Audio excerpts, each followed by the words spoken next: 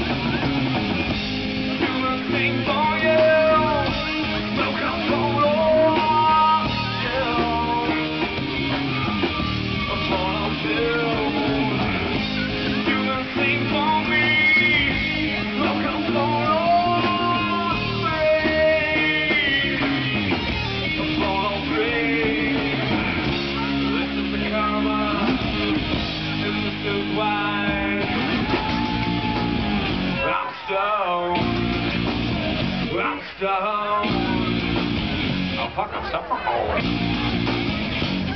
And it's good for arthritis, too.